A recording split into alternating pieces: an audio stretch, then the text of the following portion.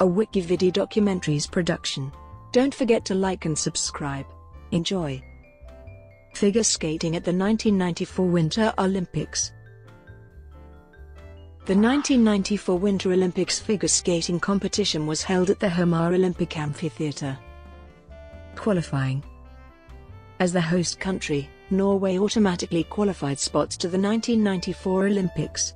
In 1992, however, the Norwegian Olympic Committee announced that skaters aspiring to be selected for Norway would have to finish in the top 12 at the European or World Championships.